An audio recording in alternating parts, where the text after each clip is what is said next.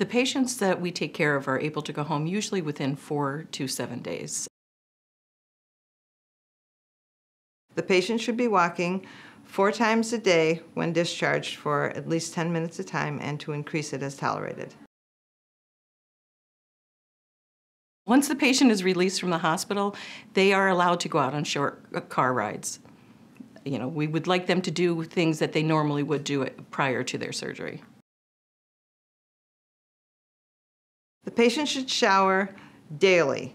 And as far as showering restrictions go, they are not to use scalding hot water because of a low blood count. It can make them lightheaded. Also, they shouldn't direct the water right at their chest, their incision lines, because it'll hurt. And they are to soap up, whether a sponge or washcloth, pat the soap on, rinse the soap off, and when they're out, pat, not rub the incision line.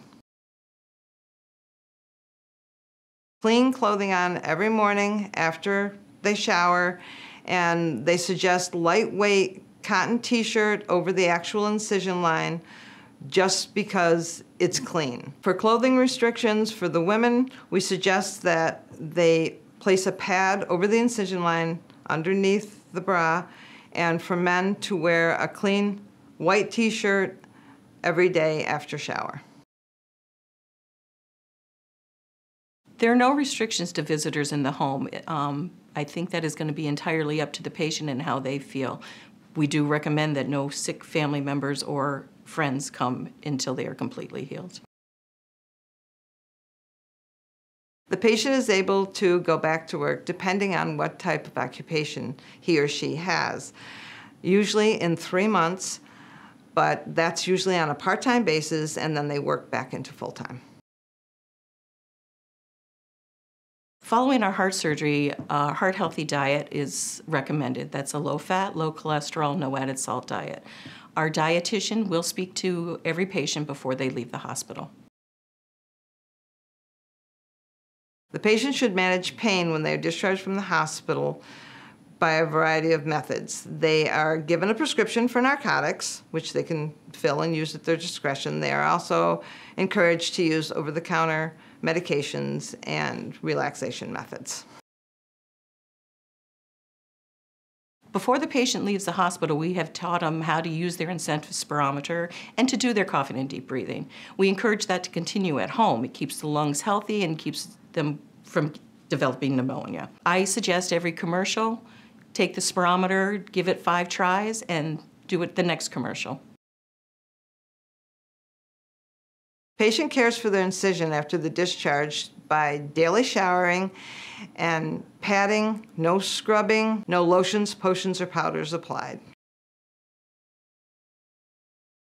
The patient should be taking the medications only they're discharged on. They will have a detailed list of the medications, when the last dose was given, and when the next dose is due.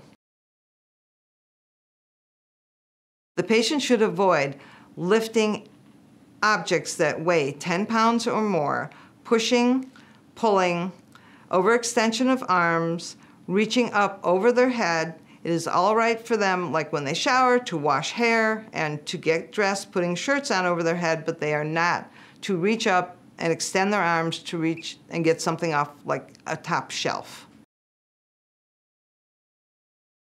Cardiac rehabilitation starts in the hospital. Um, it's a three-phase program with our um, outpatient.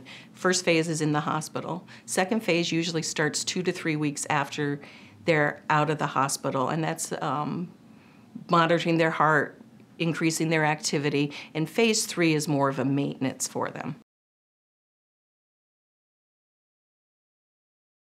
When the patient leaves the hospital, if they leave early enough, we encourage them to start making their appointments that day. The first person they're going to see is the cardiac surgeon, so um, they see him in about a week, so they want to make that appointment first.